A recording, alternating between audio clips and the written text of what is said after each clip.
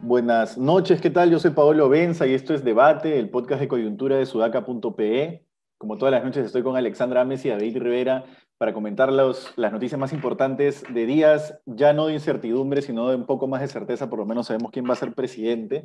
Y ya podemos por fin, por fin, después de, después de tanto tiempo pasadas las elecciones, podemos empezar a ver movidas más políticas del día a día, ¿no? Como por ejemplo la pelea de la, por la mesa directiva en la que siempre compiten o suelen competir en un congreso como este dos corrientes opuestas, una de derecha en este caso y la otra en la que, la que podría venir a, venir a ser la de Perú Libre. Pero, según un informe publicado por René Subiete en El Comercio, eh, el problema de Perú Libre es que para poder conformar una lista que pueda tener posibilidades de ganar, necesita Acción Popular, Podemos Perú y Somos Perú, que son las que se han mostrado, digamos, abiertas al diálogo con, e, con Perú Libre, que tienen, han tenido ya un diálogo por la mesa directiva, pero eh, según dice el comercio, el problema ahí es que ninguna de esas agrupaciones está dispuesta a ceder o parece dispuesta a ceder a su oposición a una asamblea constituyente. Entonces es interesante cómo cuando empiezan a operar los mecanismos políticos que, digamos, la democracia, la separación de poderes está pensada por algo, ¿no? Porque algo funciona no tiene por qué ser siempre algo fallido, no tiene por qué ser siempre una desgracia. Entonces, por lo menos acá vemos cómo la necesidad de negociar políticamente en el Congreso le, va, le puede hacer soltar el tema de la Asamblea Constituyente. Sí sería un golazo para Castillo tener la mesa directiva del Congreso, sería un golazo. Eh, le daría muchísima gobernabilidad y le permitiría, digamos, reponer los problemas que probablemente, va a tener, ¿no? Pero ¿cómo lo ven ustedes? Sí, yo creo que el, aferrarse, ¿no? Insisto, lo he dicho varias veces, aferrarse a la idea de la constituyente puede ser incluso eh, un propio harakiri para él mismo eh, y perdería la oportunidad de dirigir la mesa directiva que le ayudaría muchísimo a la gobernabilidad, ¿no? Entonces, en aras de la gobernabilidad por el país y por su propio beneficio, por su propia estabilidad, o sea, la de Pedro Castillo en particular, creo que es importante que él pueda acá jugar ajedrez más que aferrarse a una idea eh, que si bien puede ser una promesa electoral, lo importante es que se, la narrativa del cambio eh, persista, ¿no? Y, que estas reformas se puedan hacer desde el Ejecutivo para alcanzar realmente o devolverle la dignidad a, los pueblos olvidados del Perú, como, siempre se dice, ¿no? Sí, em, hoy día en la mañana Carlos Anderson de Podemos eh, dijo en RPP que, em, que algo así como que eh, los representantes de Perú Libre no se, han dado, no se han dado cuenta, o parece que no se han dado cuenta, que no son la mayoría parlamentaria, porque están intentando exigir eh, cosas como si tuviesen la sartén por el mango, y que eso no era así. Y que ellos, de hecho, en este momento ya estaban eh, buscando alianzas con otros grupos para formar una bancada de centro, le llaman ellos, ¿no? que no que no lleve a la mesa directiva ni al Fujimorismo ni tampoco a Perú Libre. Em, y es probable que lo que dice Carlos Anderson sea cierto. Eh, hoy día el comercio publica eh, quiénes serían los, presidentes del Consejo de Ministros, que son serían Roger Najar o Dina Boluarte, ambos personas de Perú Libre vinculados a Cerrón, que seguramente quieren la Asamblea Constituyente. Y creo, todo parece indicar que Castillo sigue sin poder este, definir la orientación de su primer gabinete y esa, ni, la relación que eso tiene con la posibilidad de que presidan la mesa directiva del Congreso, porque definitivamente para conseguirlo tienen que ceder cosas y algunas de esas cosas implican justamente tener un gabinete más, más eh, abierto, ¿no? Eh, que no esté copado necesariamente por, por Perú Libre. Entonces, nada, parece que todo eso está en juego, que Perú Libre en el tema de la constituyente de repente siente que con el apoyo de la población este, lo, va a ser suficiente. Y si están en esa línea, ¿no? De la, en esa línea respecto a la constituyente y en esa línea respecto al Congreso, se van a estrellar contra la pared, ¿no? Bastante rápido. Y sí, y además, para, para tenerlo claro, ¿no? Un gabinete abierto no necesariamente tiene que ser un gabinete de renuncia a tu, discurso, ni nada que se le parezca. o sea, ya la, ya la gente tiene un trauma en la izquierda con, con la bollantización o con la confiepización y en realidad la verdad es que, la verdad sea dicha, tú tienes que gobernar más al centro de como hiciste campaña, pues porque lamentablemente ganan los extremos y así no se puede gobernar, a menos que quieras irte camino al, al, al abismo, ¿no? Entonces, eh, sería bien sensato. Bueno, Franke, Franke parece que va a ser el ministro de Economía, al menos es el que, el que más este, suena entre las fuentes. Y creo que Franke que lo ha llevado de la mano a sentarse con los bancos, ¿no? Y lo ha, digamos, como ha, ha hecho todo el trabajo él para que los círculos empresariales un poco ya digan, bueno, ya, de repente le damos una oportunidad y, y nos quedamos un poco más callados y que Roque Benavides, bueno, hasta Roque Benavides termina tuiteando, creo, algo como hay que reconocer al presidente, ¿no? Entonces, eh, todo se ha alineado tan rápido probablemente y no dejaría de reconocerlo por la chamba que han hecho Franke y un poco de de Chávez también, ¿no? Sí, ese punto que planteas es bien importante porque si, si recordamos lo que decía Bermejo eh, en la campaña respecto a Nuevo Perú y lo que decía el propio Castillo, ese sector de la izquierda radical sí ve a la izquierda, vamos a llamar a la izquierda tecnocrática, como, como una renuncia. ¿Ah? O de la izquierda como una renuncia, claro, como una renuncia a sus, a sus ideales, a, su, a sus fines, y es como si efectivamente la, la moderación o digamos querer hacer las cosas técnicamente desde la izquierda fuese igual a Ollantumala, ¿no? Entonces hay una, hay una, confusión ahí mental que tienen los, que tiene el ala más radical de, de, Perú Libre, y por eso creo que si Roger Najar fuera la carta de Cerrón, yo no estaría muy seguro que esa ala estaría, esté contenta con, con la posibilidad de, de, un ministro de Economía que venga de las filas de Verónica Mendoza.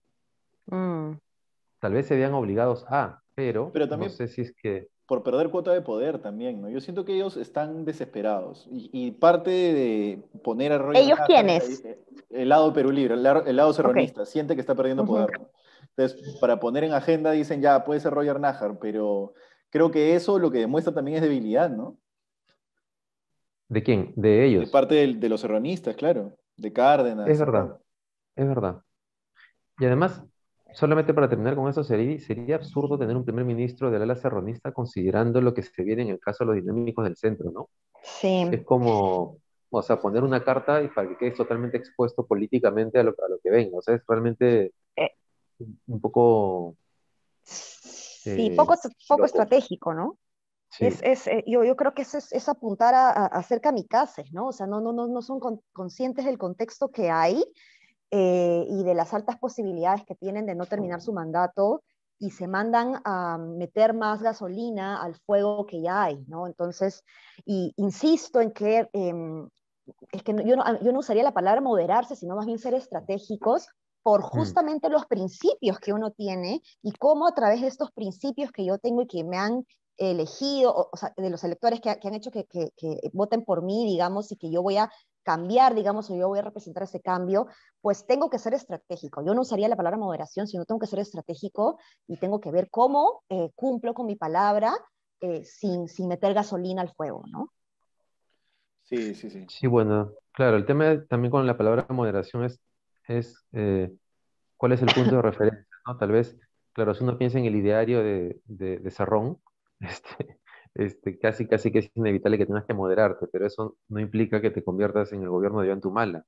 No tendría que implicar eso necesariamente, pero ese, esa ala radical de Perú Libre sí creo que tiene esa, esa lectura y que ven así además a los técnicos del entorno de Nuevo Perú. Sí, sí, sí, sí. Bueno, vamos a cambiar. Difícil, la tiene Castillo, ¿ah? Sí, la, la, tiene, la tiene bien difícil, sí. Bueno, vamos a cambiar. Vamos a ver si, su, si, su, si, su, si, sus, si, sus, habilidades sindicalistas efectivamente son, de, son del tamaño que, que se dice. Claro. Ahí va, va, va a tener su prueba de fuego, su primera prueba de fuego, claro. Así es.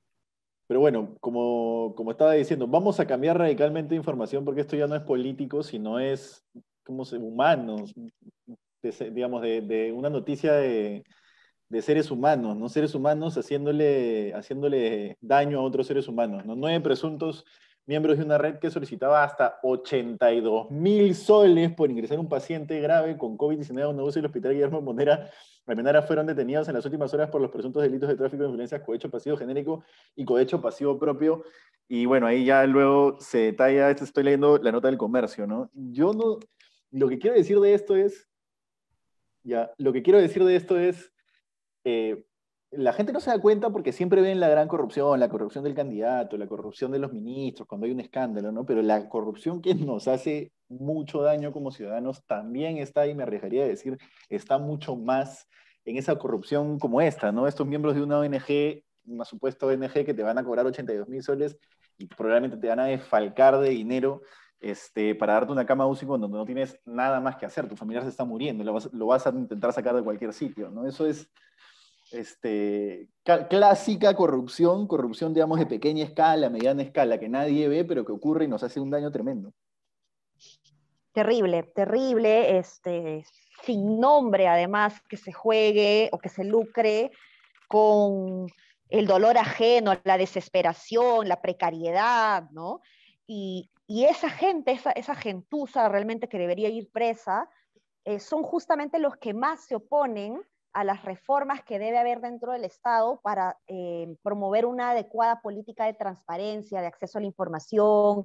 Eh, estos son los mafiosos que se oponen a las reformas eh, que, desde adentro y desde arriba un buen político puede promover, digamos, ¿no? Bien que se haya ventilado esto y, tienen que tener pues todo el peso de la ley, ¿no? Y no, creo que alguna vez le hemos hablado y sobre el mismo caso la, yo instauraría el castigo de los, no sé, 28 millones de latigazos, uno por, bueno, ahora somos 33 millones, ¿no? Ah. Eh, los latigazos en la plaza pública, no sé, uno por peruano, no sé, realmente. Sí, estamos bien podridos, ¿no? O sea, ese, este caso revela lo, lo podrido que está todo, porque eh, creo que Eduardo Adriancén ponía en Twitter que este caso es, es peor claramente que robar un banco, ¿no? Está jugando con, con el dolor de la gente en una situación de emergencia, de personas que seguramente se han endeudado para poder pagar esta coima, para poder tener la cama UCI y que además después han tenido que cubrir otros gastos médicos para los familiares que, que, lograron pagar ese monto y entrar a una cama UCI. Y, bueno, y de ahí la, la siguiente pregunta es, ¿irán a terminar en la cárcel de verdad? Porque lo que suele pasar con estos casos es que resuenan, duran dos días, tres días, una semana, y al final, en realidad, uno ni siquiera sabe qué cosa ha pasado, ¿no? Es más probable que termine en la cárcel un robacelulares que estas mm. mafias este, que ya tienen redes no solamente en el hospital, sino también en el sistema de justicia. Mm, sí. Así es. Oye, Ale, y con lo que... que van a volver a operar. Sí, con lo que dice sale de los latigazos, me ha, vuelto de nuevo esta noticia que les pasé más temprano sobre que los ronderos han venido a Lima a, proponer que replicar su modelo de vigilancia. ¿no? Hay, hay ronderos ya en algunas zonas de Lima, ojo. O sea, este no ronderos tal cual con ese nombre, ¿no? Pero son los comités de seguridad ciudadana de, los vecinos, ¿no? Pero hay, hay rondas, ¿ah? O sea, hay, hay, una sede rondera de la Organización Nacional de Ronderos, hay una sede en Lima, ¿no? Solamente, claro, es, es este digamos, no, no, no hay un sistema de vigilancia sistemático así en Lima, ¿no? Para horror, para horror esa noticia de los recolectores de firma de DASO, pues, ¿no? Porque ese tipo de cosas este, lo deben poner los pelos de punta. Pero bueno, ah, yo lo decía porque, eh, digamos, los ronderos tienen esta ética, o tú entrevistas a un rondero y te dice, nosotros somos una organización digna, no recibimos plata de nadie, ¿no? Y tienen esta fama, incluso por ejemplo, en Cajamarca, cuando fuimos a Chota, los ronderos eran, eran autoridades pues, casi incorruptibles, ¿no? que no lo son probablemente porque nadie en este mundo, no existe institución incorruptible en este mundo, pero tiene esta fama. ¿no? Entonces, bueno, eso. Que los ronderos vayan a buscarlos. Que los ronderos vayan a, Sí, sí, sí. ellos le dicen el armonizador a su, a su chicote, ¿no? le dicen el armonizador. El armonizador. A armonizar a estos señores, estos nueve señores de la Almenara. Este, bueno, nada, estamos, a ver, estamos volando en tiempo. Sí, nos quedan unos minutitos todavía. A ver, sí, nos quedan unos cinco minutitos para comentar. Yo quiero comentar un tema, eh, siguiendo con los temas de consumidor, ¿no? Me han comentado bastante lo del CyberWow. Este, y otro tema que hemos publicado ahora en Sudaca es la tarjeta O, que parece es la más sancionada por el Indecopi, la tarjeta O de la financiera O de Intercorp, ¿no? Esto es un supermercado, un un molde Intercorp te ofrecen esta tarjeta, porque en verdad sí tiene ofertas que te llaman el ojo, ¿no? Porque te hace ahorrar pero te, te, clavan seguros que tú no firmas, te aseguran que no vas a tener cobros de membresía y te, cobran, todos los casos que hemos recopilado, ¿no? Y después, lo peor es desafiliarse, ¿no? Como Andrés Calderón lo llamó una relación tóxica con mi tarjeta de crédito porque no la podía dejar, literalmente te dicen, tienes que cancelar tu deuda de 20 céntimos hoy, tienes que venir en dos días y en dos días algo pasó, no hay atención, no sé, en fin. Entonces, este, es importante que la gente entienda que lo que el Indecopi puede hacer con esto es casi casi la punta del iceberg, ¿no? Yo no sé qué, no, no hay mucho más, eh, tendría que ser otro tipo de, de, enfoque normativo, ni siquiera de, de, gestión, porque ahora el Indecopi está mejor que con Gagliuffi, pero, pero ya no sé qué más puede hacer, ¿no? Yo he pasado por eso también, por esa experiencia. ¿Por la O? Y, Sí, claro. Hace, eh, ¿Cuánto tiempo tiene esa, esa, esa, esa, tarjeta más o menos? No sé. ¿Cinco? sí, tres, cuatro, sí. Sí, al, comienzo nomás. Este, pero y ahorita estoy, por ejemplo, en un chongo con claro, alucinante. Este, pero, pero claro, en el Perú todo el tema de protección al consumidor falta meterle mucho punche, ¿no? Indecopi tendría que tener un área pues enorme para poder atender todos los casos que, que, que, que existen en el Perú y tendrían que, la legislación tendría que darle más dientes para poder, este, para poder desincentivar, o sea, para poder aplicar sanciones que efectivamente desincentiven que se vuelva, eh, que vuelva a pasar. Sí, así es. Sí, sí, no, e, es este, o sea, hace falta mucha, mucha mano dura ahí pero también campañas de, sensibilización para que la gente, de información más que sensibilización, para que la gente entienda eh, los, estos trucos, digamos, que hay detrás, digamos, que uno tiene que saber, ¿no? Inclusive puede venir hasta de la, de la, del sector privado, ¿no? El, ABC de la banca, si no me equivoco, es del BCP, pero también Asbank como asociación sacó algo que fue bien importante en donde hablaban cuando vas a pedir una tarjeta de crédito pregunta por la TCEA, pregunta por tal eh, eh, eh, interés, ¿no? Entonces, este tipo de cosas otra vez nos hacen falta, ¿no? Que la gente pregunte eso, ¿no? Cuando a mí me ofrecen algo, yo pregunto al toque qué intereses, cuáles son las cuotas de mantenimiento, qué seguros me van a cobrar, etcétera, etcétera. Y ahí digo, ah, ya, no, no, gracias, no me interesa, ¿no? pero la información no debe ser, pues, em, solamente accesible para una élite, ¿no? Sí, sí, sí. Y, y, una cosa importante en el Indecopi, ojo, es que pueda lograr una, un balance entre RO y RDR, ¿no? Recursos ordinarios y recursos directamente recaudados, porque por ahora vive casi de sus multas. Entonces, eh, digamos, no sé si eso te da la capacidad para enfocarte en algo que es mucho más importante, que es preventivo, ¿no?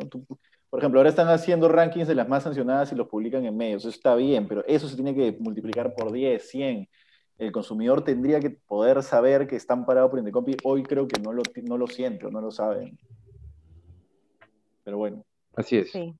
Faltan recursos, faltan recursos y, y también ver que las, que las sanciones y las multas sean mucho más altas.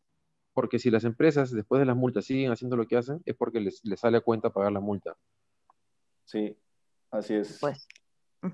Bueno, eso es, eso es. Hemos hecho 20 minutos clavaditos, así que nada, nos vemos mañana y gracias por escucharnos, coméntenos, compártanos y nos encuentran en sudaca.pe. Hasta mañana. Listo, nos vemos. Chao, chao. Hasta mañana, chao, chao.